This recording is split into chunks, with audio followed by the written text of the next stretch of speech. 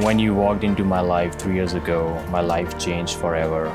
You have brought me so much joy through the years, and I cannot imagine my life without you. And I cannot wait to spend seven lifetimes with you. Love, Joanne. To my beautiful wife, I'm so lucky to have you in my life.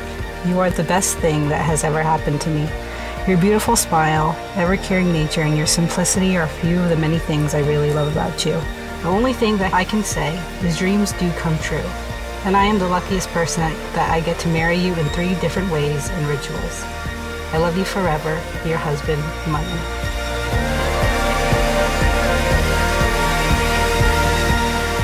I present Mrs. and Mr. Bawa.